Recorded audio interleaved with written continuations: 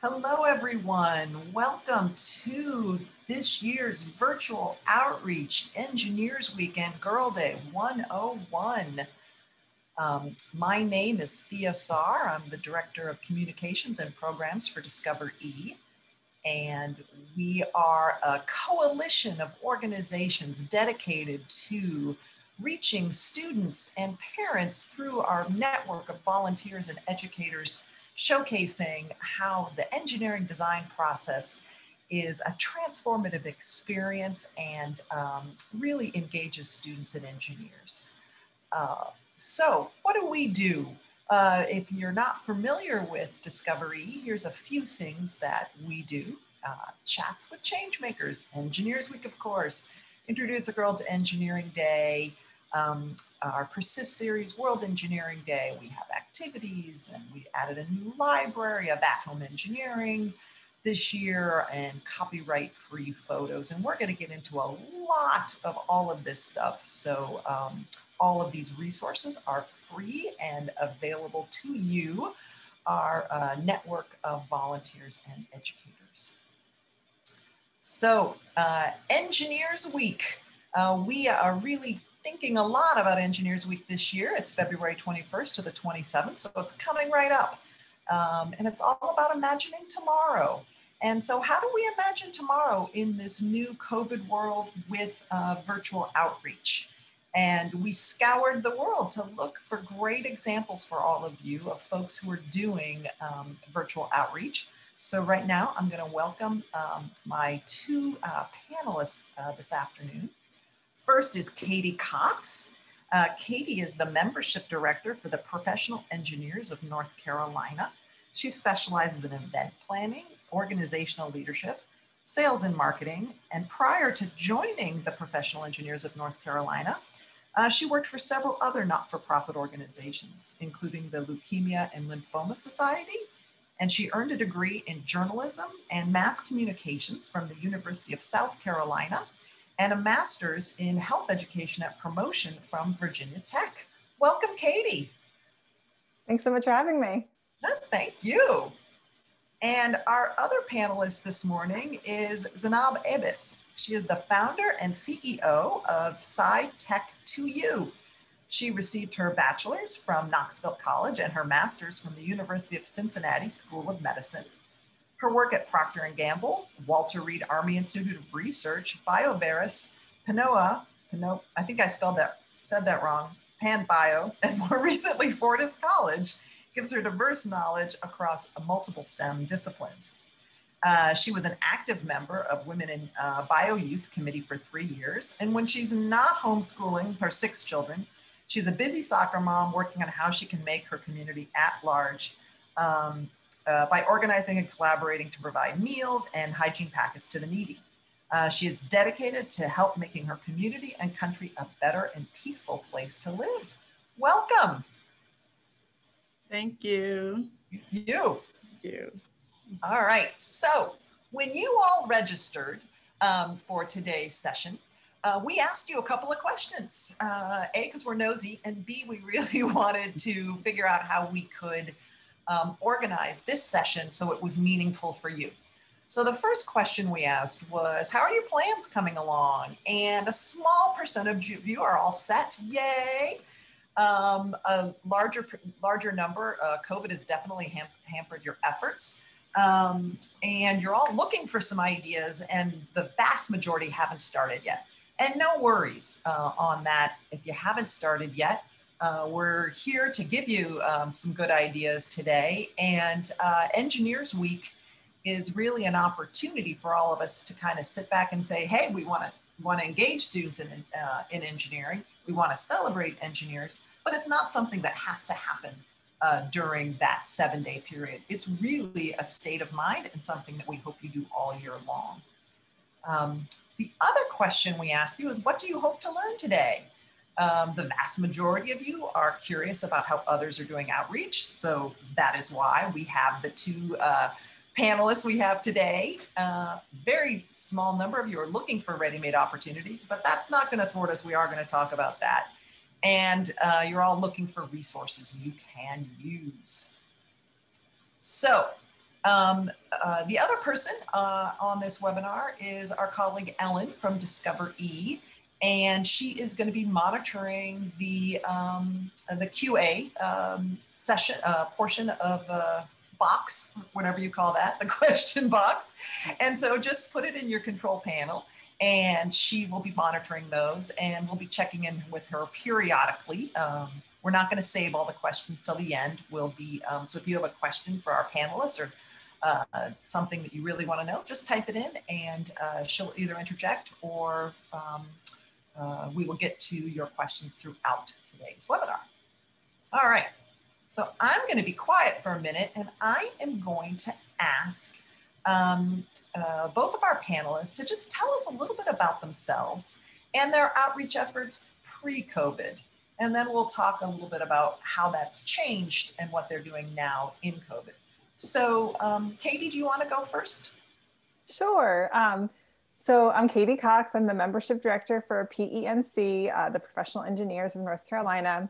We're a nonprofit association uh, we are a state society of NSP, which is the National Society of Professional Engineers. And part of our mission is to offer outreach. Um, so every year during E-Week, we try to organize some sort of outreach program. Um, in 2019, we did a screening of the film Dream Big. Uh, we offered one in Charlotte and one in Raleigh, and we invited our members to come and their families. And then we sponsored uh, some high school classes to come out and see that as well. Um, then in 2020, before COVID hit and shut everything down, we were actually able to send some volunteers into schools. Um, so we paired schools with volunteers from our organization, and our volunteers went into classrooms and actually um, demonstrated an, an, engineering activity. Um, a lot of them got their activities from Discover E, um, which was a great resource for them. Um, and I think we had about 300 kids participate in that total. Um, so that was a, a, great response for that outreach program. Awesome. Uh, uh, Zainab, can you tell us a little bit about your um, efforts, your education efforts, how you got involved, um, your kind of your journey? yes, sure. Um, I started um, about uh, 10, almost 10 years ago, it'll be 10 years this April. But um, I started, the, the reason why I started SciTech 2 was basically, was because I used to teach at a for-profit college and I had one student in my class who wasn't, you know, very good student from all intents and purposes. He was tardy, he was absent a lot of times. And then one day I just spoke to him and told him, look, I see you, you could be a good student. I've seen some of your good work. So if you apply yourself, you can do good work. And so, you know, I, it was a lengthy conversation, a lot longer than what I've just stated, but he made a turnaround. He started going from, you know, E's and F's to A's and B's. I mean, he did really good work. About two weeks in, um, the president of our school came in with two plain police officers, arrested him and took him away. So for me, that was really heartbreaking and really shocking to see someone with so much potential have his dreams shattered. So that was the impetus for starting SciTech 2U.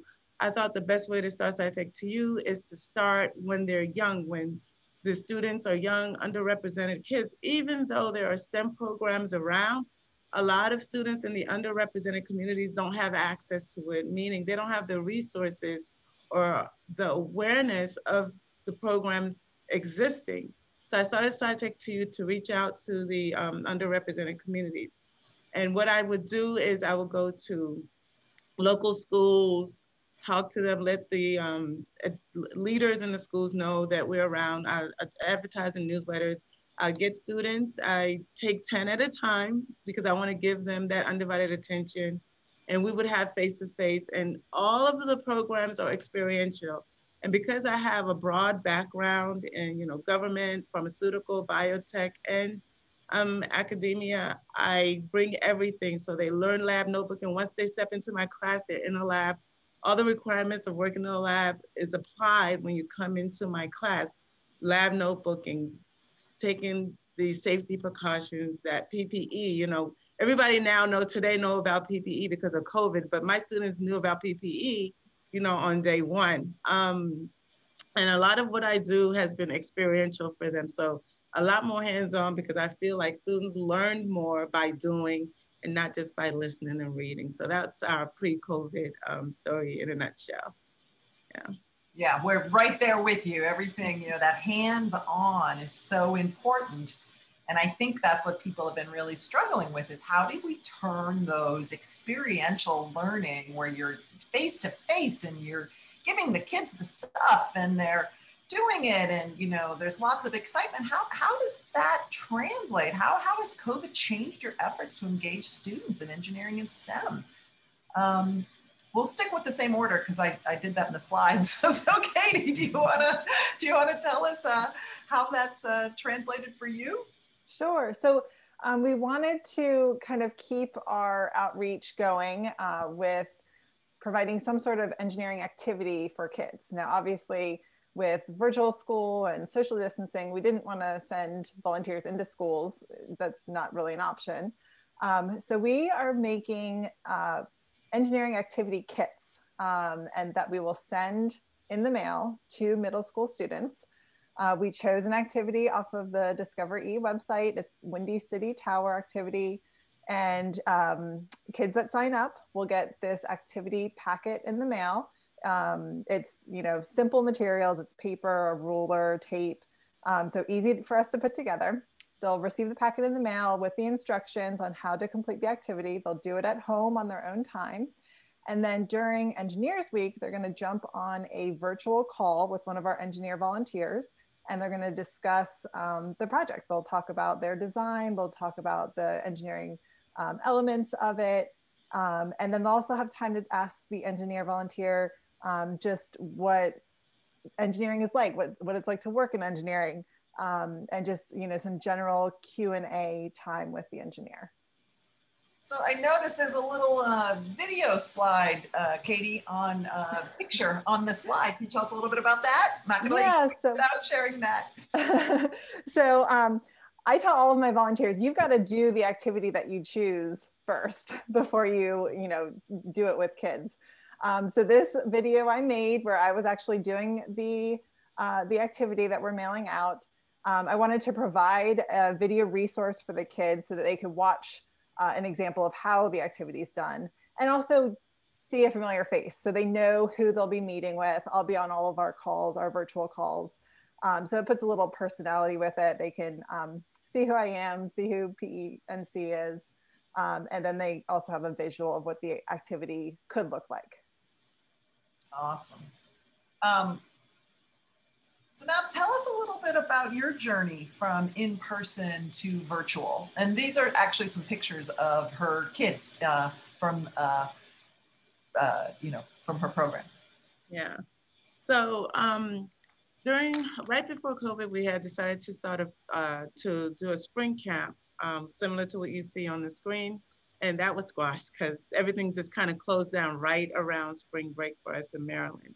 And then summer program, that didn't pan out too because we are still kind of adjusting. So um, we typically don't do after school programs, but because of the pandemic and schools were closed, there was a great need for the services that we provide in terms of engaging students. Um, that first spring, a lot of parents you know, we're frustrated because the, you know, just adjusting the transition to in um, virtual learning, the kids weren't really getting connecting with the students. And so after school program, we partnered with two other organizations that were local, small nonprofit like ours, and we reached out um, and we were able to start an after school program. And this year we focused on aeronautics so it was virtual. We prepared kits very um, similar to what Katie's program had. We prepared kits and we'll have a pickup and drop off points. We'll prepare the kits each month and the students will,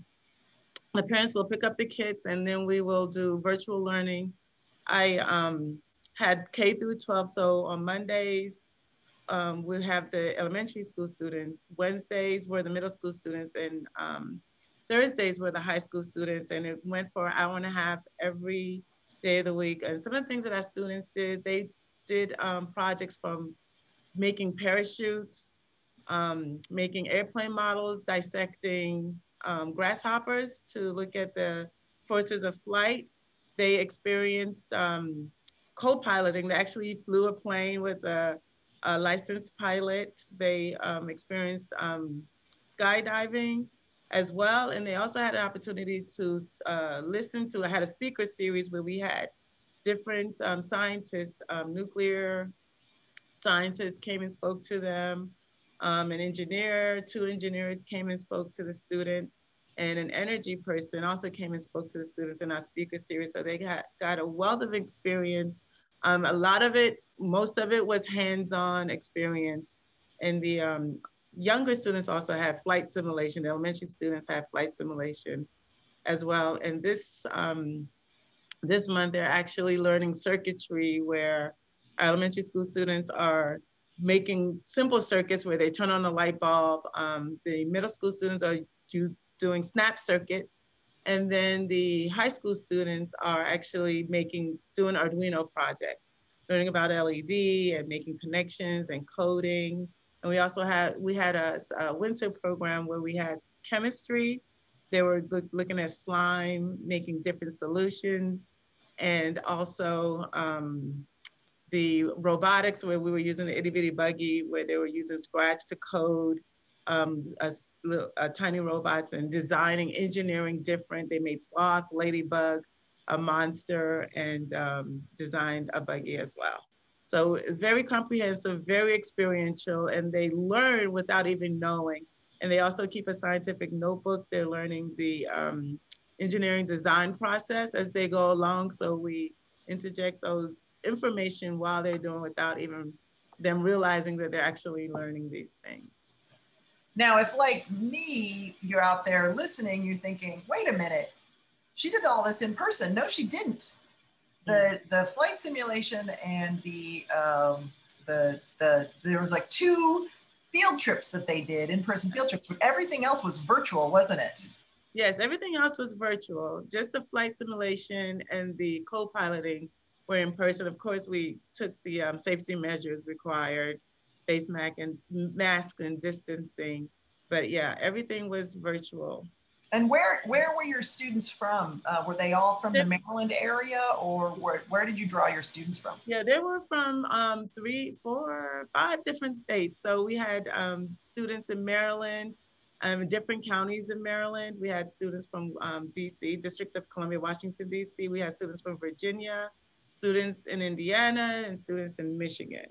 So we had them from all over and we mail things out too. So the ones that are farther away, we'd mail our kits out to them. The ones that were closer, sometimes if they weren't able to, you know, they didn't have access to a vehicle, I will drop off. And those who had access to a vehicle, we have a drop off spot somewhere in the middle where everybody can kind of meet.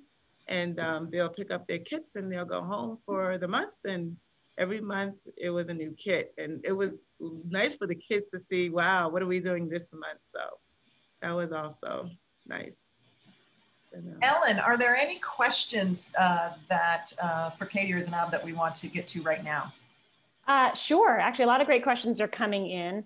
Um, first is, is one for Katie asking um, just about sending activities uh, for kids to do. Um, I've seen actually two, two parts to this question. The first is, um, you know, about asking about funding for those materials and, and how you go about that. And the second is um, asking specifically, Katie, why send for the kids to do themselves as opposed to maybe having a breakout session where you're leading them through that activity? So.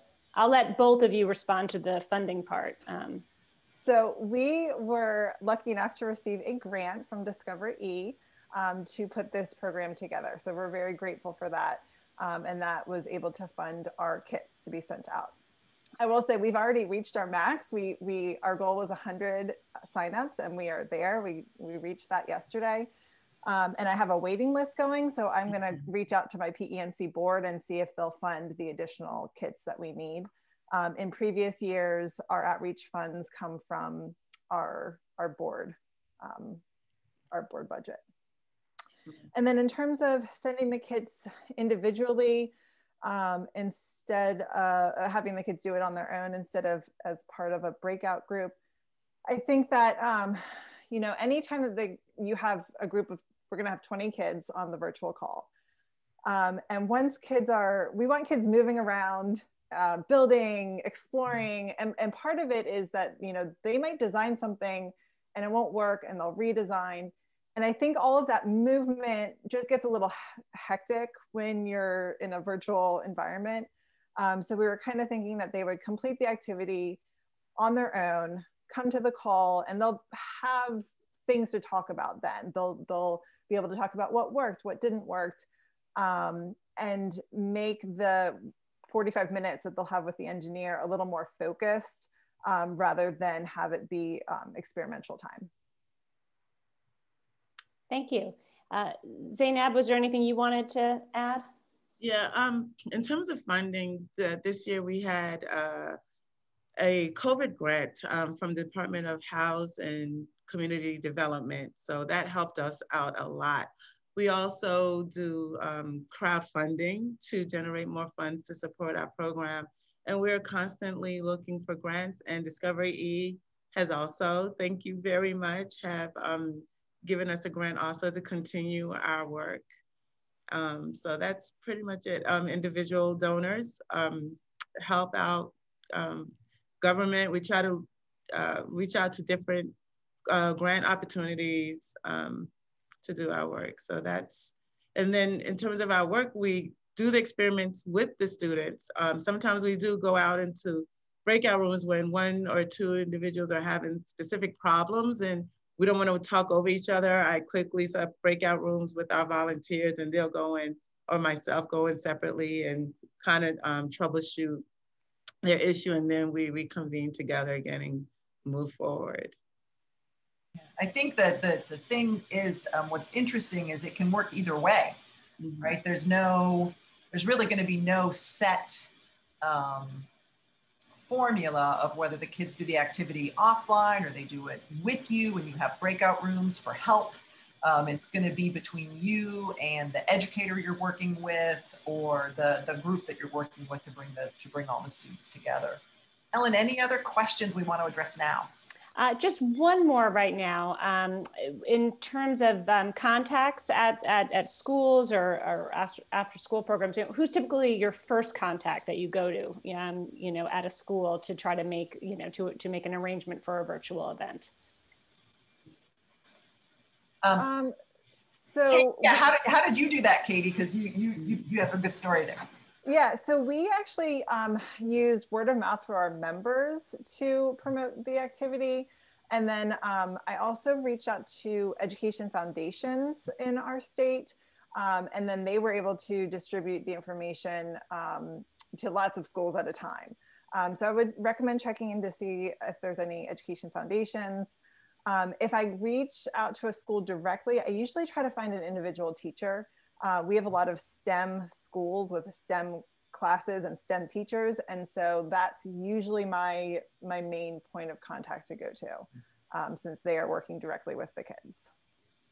Yeah, um, I would agree with her. I think everything she said is right on point. And the only other thing I would add is if you already have a relationship with a school, then you know the point of contact there will be a good place to start.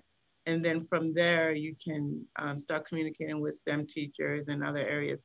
Sometimes even elementary school will have a relationship with a middle school and, and middle school would have a relationship with a high school. So you could kind of make those connections from grade level to grade level and they could give you the contact or give you a recommendation.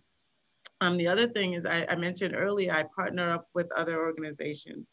So other organizations um, that do similar um, projects or work, not necessarily like one of the organizations that I partner with does more social service for women and children. So that's another great place to look for um, reaching students, um, organizations that do work with other, maybe not necessarily in STEM, but in other areas that can uh, reach the students and families you're looking to reach.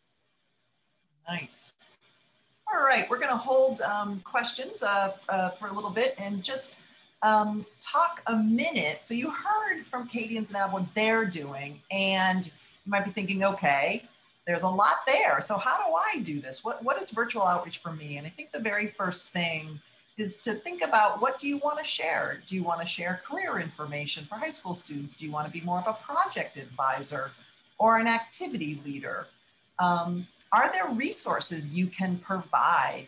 Um, what we've been hearing um, from educators throughout the pandemic is, um, you know, simple supplies they're desperate for, or even, um, you know, printing instructions on paper, because uh, these poor teachers are, if they're doing hybrid or if they're doing virtual, how are they sharing um, hands-on activities with students? Um, are you comfortable doing this alone or do you want to team up with somebody? Um, this is uh, probably a really good year to team up because you don't even have to be in the same place if you're going to do it virtually. Um, and then, you know, do you want to organize something yourself or do a ready-made opportunity? And um, you got great advice from Katie and Zainab about where you can find teachers, where you can find uh, youth leaders, but you know, the other question to ask is, does your engineering um, organization, are they already planning something? Um, look at uh, parents in your neighborhood, relatives. Um, do you have existing relationship with teachers, which was what Katie talked about? Um, oh, look, and that's in there twice. Uh, does your company or association have relationships that you can uh, take advantage of? And I love uh, uh, you know, go outside the box. We don't just have to go to uh, teachers or after school programs, but are there um, organizations that are serving uh, the audience um, that you want to reach out to that might be looking for programming during Engineers Week? I think this is an opportunity for us to kind of broaden, um, broaden uh, who we traditionally work with. So um, structuring your visit. Uh, this is, you know, this this is the the, the, the, million dollar question, right? Um, when you're thinking about structuring your visit, if you're going to be working with a teacher or an after school provider, you know, really uh, having a conversation with them um, about what are the rules and best practices for volunteers. They may have a whole system in place for bringing uh, volunteers in, like uh, like like uh, SciTech 2U uh, has all kinds of they're they're ready for volunteers. Um, and then asking where are the students? Are they online? Are they in class? Is it a hybrid? Do you want to do one visit or multiple visits? Um, and uh, how can you support what's happening in the classroom or after school? So it's really having a whole series of, of, of questions that are important for you but are really trying to get at what the ed, what are the goals of the educator and when you signed up, we promised you the Scrooby uh, uh, guide on how to set up a virtual visit. And it really goes more in depth on structuring your visit, not only from um, uh, these questions, but the various ideas of whether you do your activity, you, you hand, um, you, this is something you might want to talk to the educator. Does he or she want you to challenge the students to an activity and then have them do it offline and then come back and do a share out? Or do they want it more live and in person? And what kind of resources and materials are the students going to need and how can you provide? Um, we have another act, uh, webinar coming up on February 23rd, which is going to be about how we create inclusive STEM environments. And as I've been doing some pre-work with them, this last question is really becoming um, important. It's how do we connect with the kids virtually? How do we make them feel comfortable? How do we make them feel seen? And how do we kind of um, make sure that we're not just talking at the kids, that there's an opportunity for some back and forth. So, um, so we talked a lot uh, um, uh, about this, and Katie and Zainab and I, we had a fun conversation on Friday where we talked about different icebreakers. So here's our first icebreaker, uh, and I'm going to start a poll um, with all of you where I want you to tell me um, what kind of, uh, if you have pets. And uh, so do you have birds, dogs, cats, horses? Uh, do you have llamas? And uh, a funny llama joke, uh, which makes a lot more sense if you know that I am from Boston. But do you know that there's three ways to spell the word llama? So there's one L llama, which is the Dalai Lama, the two L llama, the animal, and the three L llama, which is a really big fire in Massachusetts. so none of you have llamas. Um, some of you have horses, but uh, so um, I'm going to share the results of our poll. Uh, a, a, wide variety. You don't have pets, a couple birds, lots of dogs, cats. Oh, well, the cats are in there twice. Um, horses. Um, so just kind of a fun little icebreaker poll with a really bad joke in there um, to kind of uh, let you share your personality a little bit. Um, some other kind of icebreaker games. Now, you want to talk about the count to 100 with a twist game? Oh yeah, so if you ask someone to count to 100 or a group of people to count to 100, they can probably do it. But the thing about it is it's, it's a team effort and it also helps with communication where if you have, maybe we're too large for 277 people right now, but if you have a room full of students and you break them up into groups and then you ask them, and this is really good for virtual, right? You ask them to count to 100, but without any order. So, but the twist to that is you can't, two people can't say one or three at the same time. So everybody's kind of like looking at each other like, who's going to say it? If they, if two people or more say it at the same time, you have to start back at one. So the first time I did this, I think we got to six. The second time we had to talk about it, come up with a strategy, and then we got to 13. And there's a time limit, so you have to be able to count to 100 in one minute. So that's kind of like where that um, the twist, the other twist comes in. So when we finally got strategized and really did it well, we got to about 40 in one minute. So that's a good um, team building effort there. And it's a way to really break the ice and get people talking to one another very quickly. Yeah. Katie, will you tell what alphabet objects is, what that one was? Sure. So this is also best for a small group. Um, we'll probably do it with our 20 uh, virtual call, 20 kids.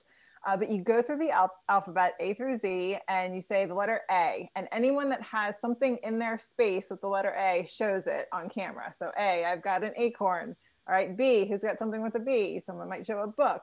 C, I've got a cell phone and you go down the the alphabet like that and it's a good way to see um, a little bit of kids personalities because you see what's in their space and they sometimes come up with some pretty funny things and, and I was having trouble when when we were playing this game. I'm like, no, I don't have anything, but I have a goat.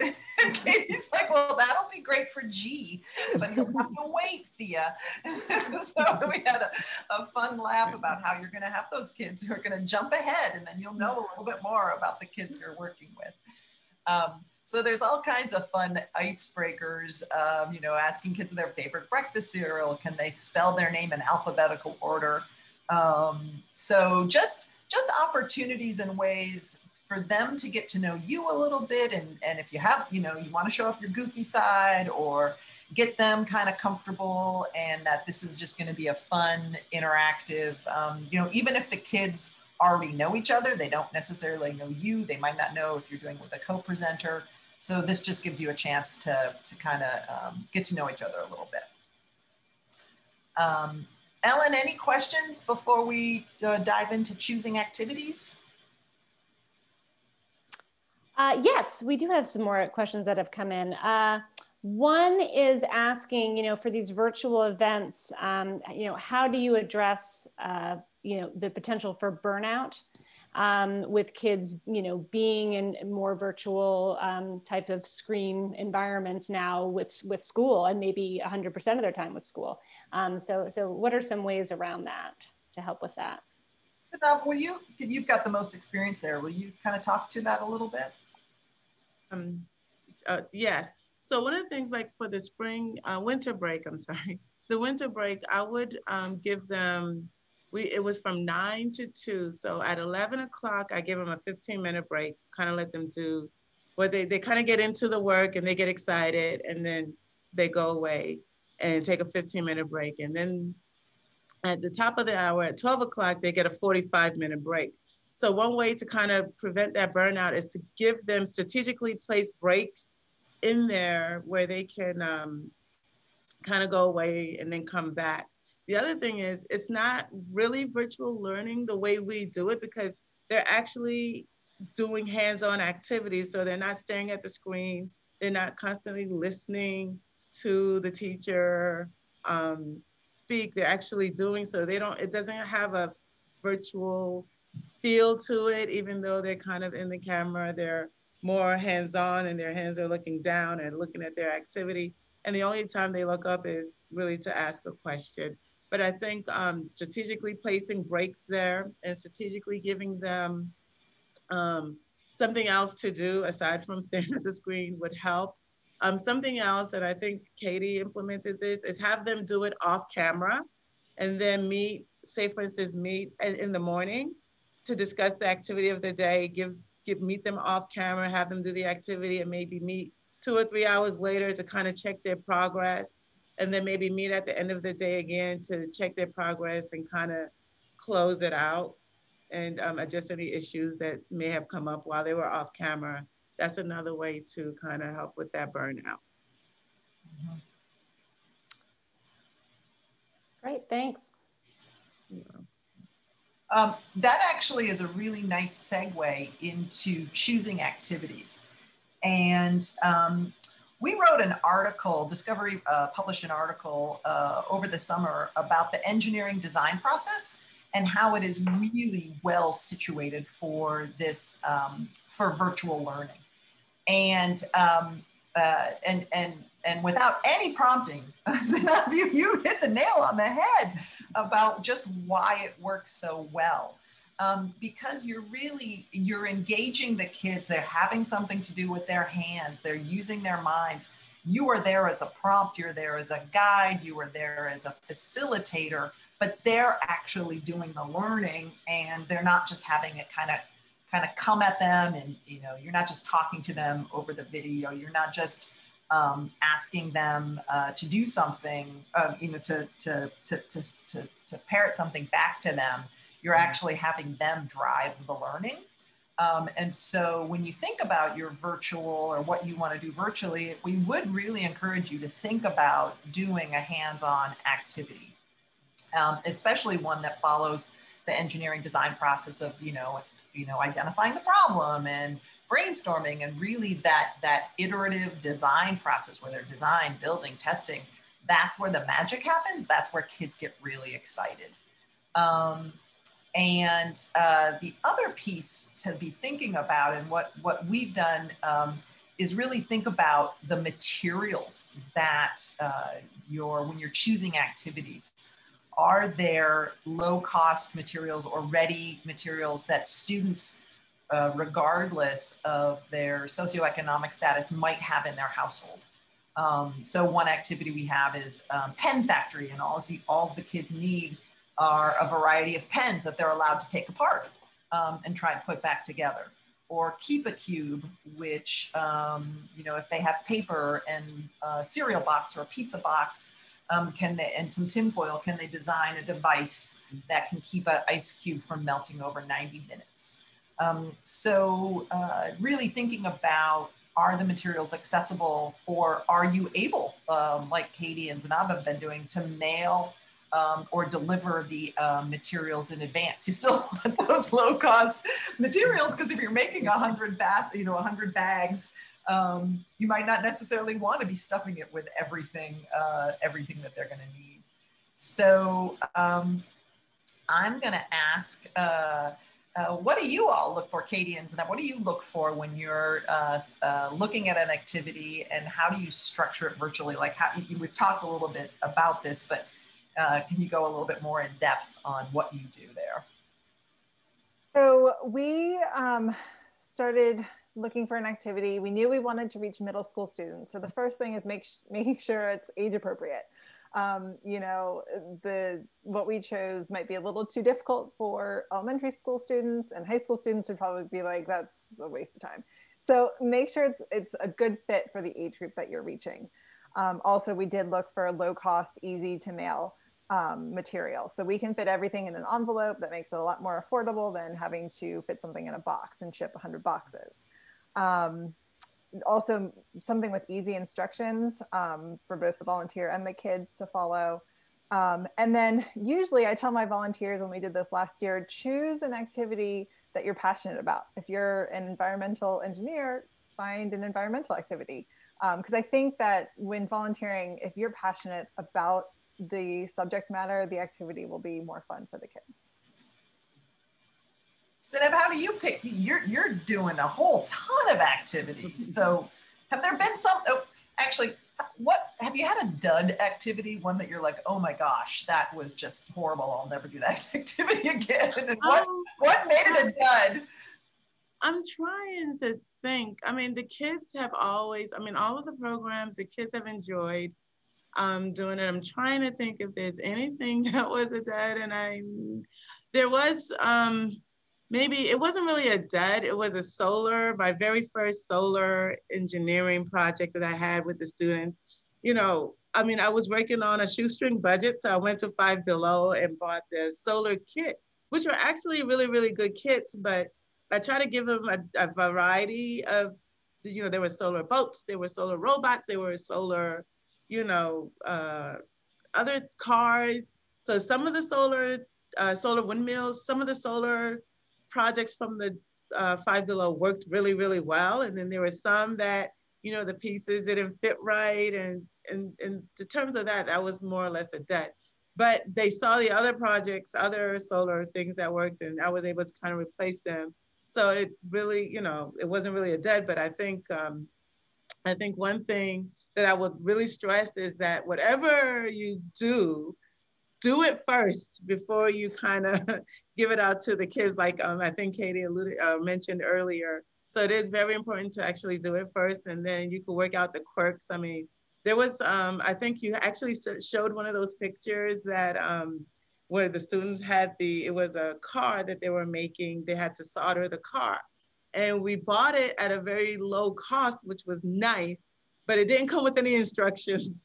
So we had to sit like for, you know, the two nights to kind of separate all the pieces for each individual student and kind of mark every single piece for each, you know, every individual piece for each student. It worked out well in the end, but it was a dead in terms of preparation, but the kids really loved it. I mean, they enjoyed it a lot, but it took a lot of work to get it to that point. Yeah. So. And I think that's a good point because, you know, it's doing that activity first. A, you found out that, uh oh, I don't have the instructions and I'm going to have to put all this together. But also, when you do the activity, it's, it's really where you kind of uncover where the kids might stumble. Mm-hmm. Or it gives you an opportunity to come up with a series of questions, right? Because remember, you're the facilitator, you're the volunteer and you're not actually and in virtual right? You can this is what's so interesting about virtual learning or virtual facilitating. A lot of times we we give in to our desire. If the kids are having trouble we might do it for them but there's no way mm-hmm. over virtual you can do it for them but what kind of leading questions can you ask you know if you know where they might get stuck on their um, um, on their pen factory or where they might get stuck on critical load. If you if you've done the activity in advance, you can have some really great questions um, and maybe even some props that you can show them.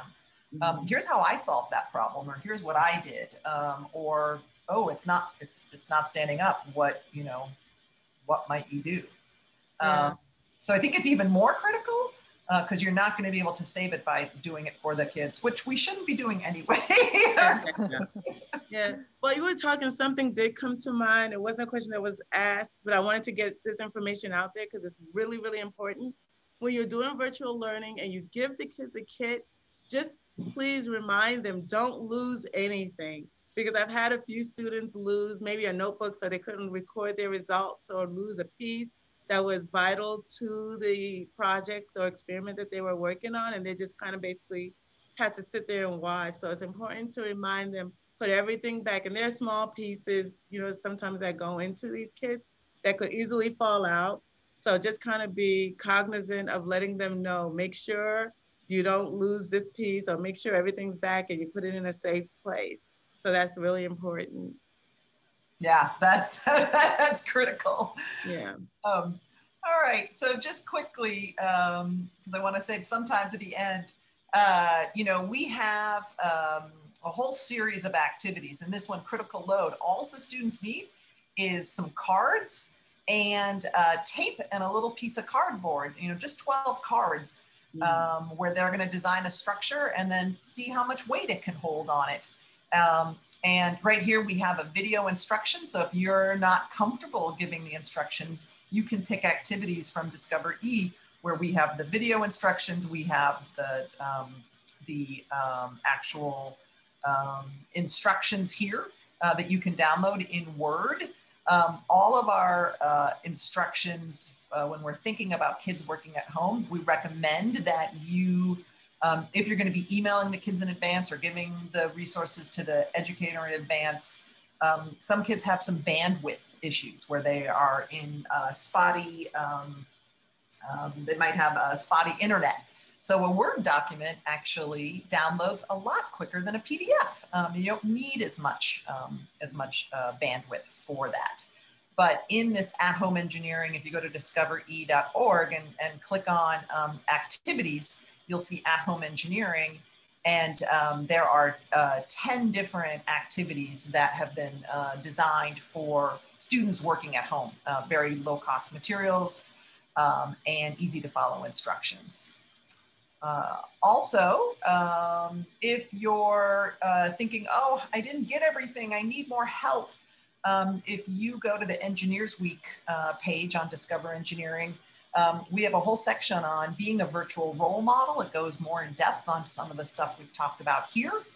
Um, we also have uh, just ways you can celebrate engineers because we don't want to forget about that. Um, and where you can sign up to be a role model. So you can check that out.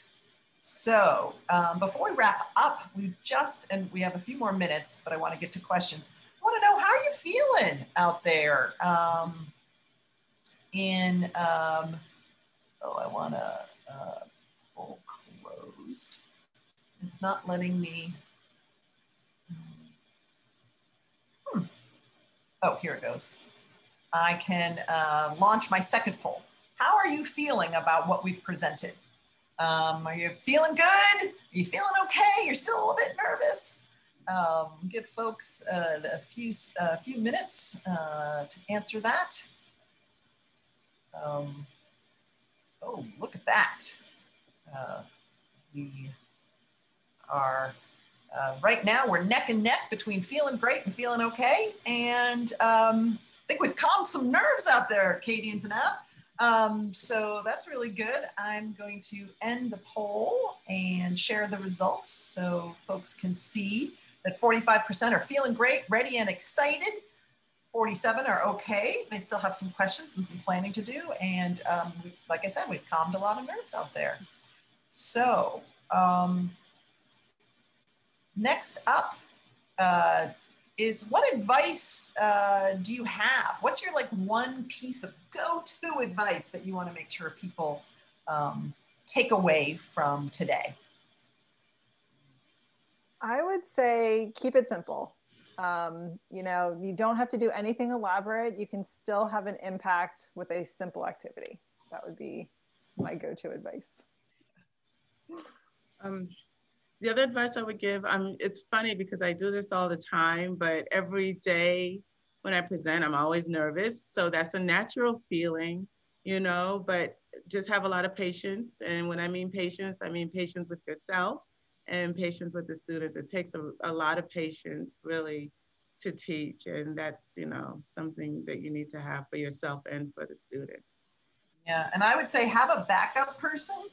Mm-hmm. Um, because today when I went to launch the webinar, um, it wouldn't launch for me. So Ellen had to launch it. And I was like, I might be doing this webinar with no technology.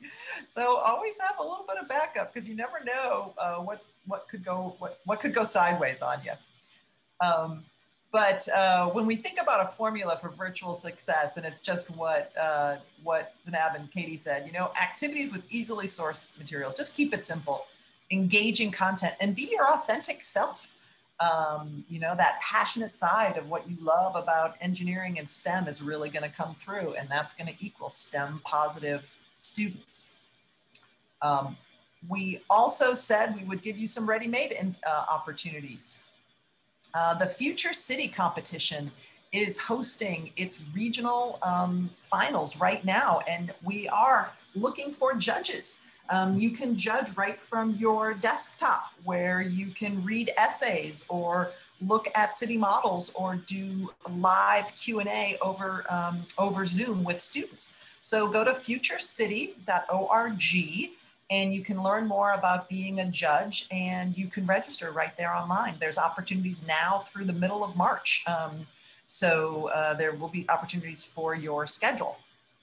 Um, uh, Try Engineering, they have a, um, uh, uh mentor uh, program there uh, online. That is a year-long program, so you'd be, you'd be signing up for, for that for a year. Chats with change makers. If you are thinking, if you're in that 7%, you're really nervous, you're not sure what you want to do every month. Tiffany, a 10th grader from Texas, interviews an engineer and we broadcast it live on Fridays and it's also available on our website um, and you can share that with students. Uh, NSBE has their summer SEEK camps and they are always looking for volunteers and they have those uh, virtually and in person. Um, Great Minds in STEM, uh, SWE Next, uh, becoming a SWE Next mentor. Um, uh, they are doing a lot of that work virtually and uh, can set you up with some uh, girls. And then, of course, uh, SciTech2U um, is looking for volunteers. And, and uh, what's your, how would they go about reaching out to you? Um, they could go to our website where our information is on there. You could call me um, directly, um, email me at zainab at scitech2u.org. Um, you could reach me by phone, via email. So that's you can call her. She's on Facebook. She's on. Yeah. she's yeah, on yeah. I'm Facebook, LinkedIn, Instagram. Yeah. She's not hiding. No. And then uh, say you're like, okay, I just want to do something online, uh, uh, social, on social. We have a social media toolkit uh, this year. The, the, the background that you see behind me is a downloadable uh, Zoom background that you can use. Um, there's also uh, how are you imagining tomorrow? You can share what, what tomorrow looks like to you. And that's right on the website. Um, you can go and grab that. Um, upcoming events on February 10th, the Persist series kicks off with Workplace Norms That Work. This is for women and men working in engineering, talking about how we can create more inclusive um, uh, engineering workplaces. Uh, February 23rd is creating inclusive STEM experiences, and you'll all be getting an invitation to that soon. February 25th um, is our next Chats with Changemakers, and Joan Higginbotham is an engineer and a former astronaut. Um, so uh, I see a lot of hand raising and I see a lot of questions. Um, Ellen, what are um, some other questions from folks? Uh, we have some questions here about um, different types of events. For example, any tips um, for doing uh, larger scale events? Um, someone's planning something with, I think, you know, hoping to reach 250 girls at one event. So that's exciting. So what resources do we have for that? And then just as a piggyback to that, another question was about what about an event where, say, an engineer is um, speaking virtually through their their workplace, whether that's uh, you know a construction site or an office or wherever they do their work. You know, is, has that any experience with that sort of event? Um, I know uh, I've heard from a lot of partners that they've been doing those more virtual field trips and um, having a lot of success uh, because they can get kids and get more kids in to um, to see their site and to see what actually goes on uh, in the uh, more exciting side of the engineering. So I think that's great. Um, the person who's doing the 250 uh, kid event, we'd be happy to chat with you. I know that UT Austin um, is doing an event where they expect to have at least 5,000 students over 10 days. Um, and they're doing a series of booths um, that are staffed that'll have different times where kids can do activities, see videos, and chat with uh, engineers. But um, Zainab and Katie, any advice do you have or, or uh, want to share? I've done virtual, uh, large virtual events before, and breakout rooms work really well where you can um, have a smaller group interactions and then come back as a whole group.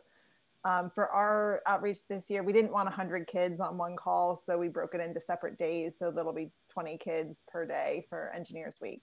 Um, anything that you can do to get smaller group interaction within your event, I think is a positive. Yeah, I like that. Yeah, I would agree. Um, smaller groups, I mean, you could do 100, but have maybe 10 volunteers in breakout rooms, you know, with 100 um, would be ideal. And if you're going to do something on a large scale, keep it really, really simple because you could have 100 different problems that, you know, one person can address at the same time. So mm-hmm. that's my suggestion. Have a lot of volunteers to support support you, and it should go well. Yeah, and Katie, with your hundred students, you're breaking them up into five groups of 20, right? With five different volunteers? Exactly. Yep. So a group on Monday, group on Tuesday, and so on. Mm-hmm. Well, that's nice.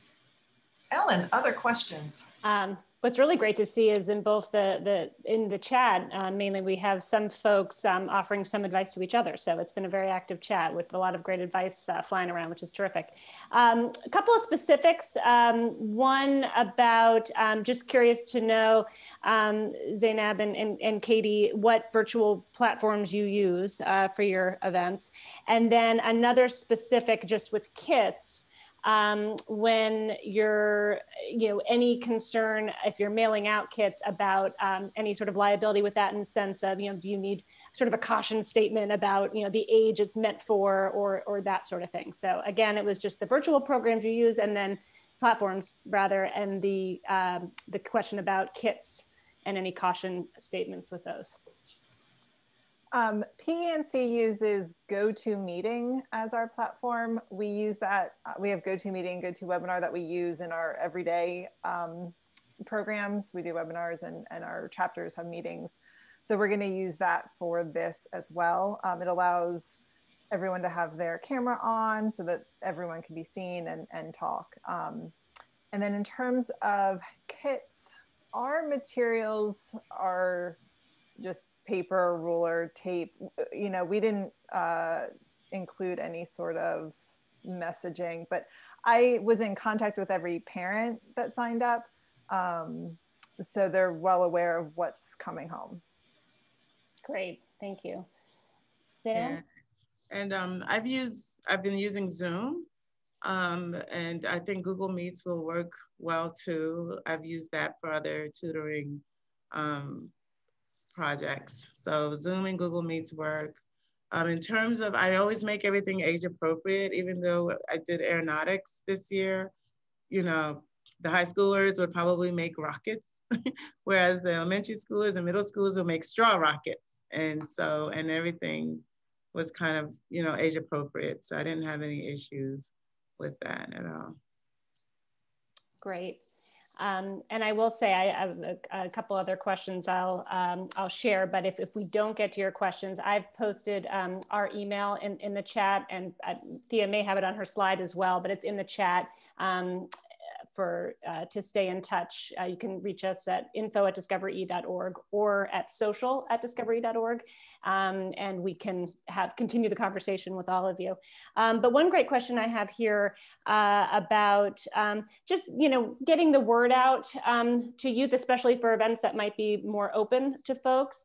Um, any tips for for spreading the word, um, in particular with promoting you know equity and access to all, and, and being sure to do that. You know any best practices there? I would, um, one of the things that I use is newsletters, even your local um, churches, synagogues, or masjids. Um, you could put it in their newsletter, word of mouth. Sometimes you'd be surprised how the type of reach you could get just through word of mouth, people who've experienced the program. So tell other people, you know, so You know, one really clever idea I heard um, was Nextdoor. If you're if you're on the Nextdoor platform in your local mm-hmm. community, um, you can put the word out that way too. I thought that was kind of fun. Katie? Uh, yeah, we use a lot of word of mouth through our our members, um, and then, like I said, we um, use education foundations. You could also try like Boy Scouts, Girl Scouts to help spread the word. Anyone that has, um, you know, access to a large amount of of the age group that you're trying to reach. It is one o'clock, and I'm starting to see people drop off. Ellen, any last burning questions that um, that we need to sneak in? Um, I don't think so, but I, I, again really encourage people. I know some want to share what they're doing and, and may have very specific questions about resources, you know, how our resources can help. And, you know, we're happy to have that conversation with you offline. Mm -hmm. And uh, you will, when you leave, uh, uh, a window will pop up with a link to a quick four question survey. Just tell us how we did um, uh, on uh, virtual outreach. This is the first time we've ever done a virtual outreach uh, webinar, so we're curious if this was helpful. Um, thank you, everyone, and, and, and a big thank you to Katie and Zainab. You guys are, gals are amazing. Uh, I had lots of amazing things to share and do, and I hope that everyone has a wonderful Engineers Week. Uh, thank you all, and have a great rest of your day.